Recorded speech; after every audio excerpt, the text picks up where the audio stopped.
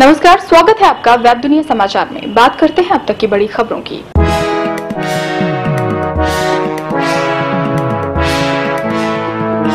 भारत में नोटबंदी के साहसिक कदम से विश्व में हड़कंप। नरेंद्र मोदी सरकार द्वारा 500 और 1000 रुपए के पुराने नोट के बंद करने के फैसले का असर समूचे विश्व पर देखने को मिल रहा है।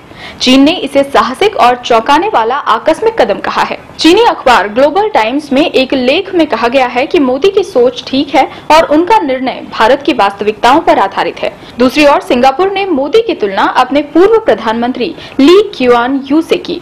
यू को आज के आधुनिक सिंगापुर का जन्मदाता माना जाता है। नोटबंदी को लेकर पाकिस्तान में जहाँ आतंकवादी सदमे में हैं, वहीं पाकिस्तान पीपल्स पार्टी के विपक्षी सांसद उस्मान सैफुल्लाह खान ने मोदी के इस कदम की सराहना करते हुए संसद में एक प्रस्ताव पेश कर पाकिस्तान में भी 1000 और 500 रुपए के नोट पर पाबंदी लगाने की मांग की है।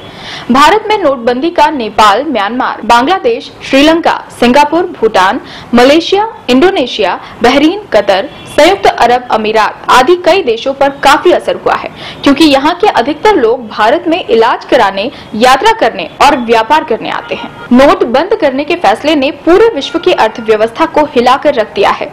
कई देशों की अर्थव्यवस्था भारत के अंदर चलने वाले कारोबार पर निर्भर है।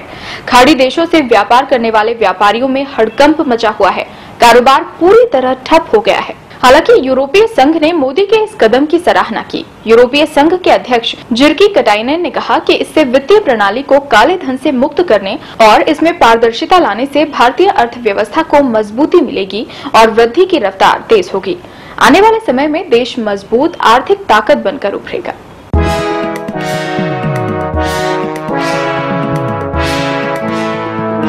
और अब नज़र डालते हैं आज की सुर्खियों पर। नोटबंदी के खिलाफ विपक्ष हुआ एकजुट। संसद से सड़क तक होगा विरोध। मुसीबत में नवाज़ परिवार, इमरान ने पनामा पेपर्स मामले के सबूत सौंपे। सीबीएसई फिर लेगा दसवीं की बोर्ड परीक्षा। ग्रेडिंग सिस्टम होगा खत्म।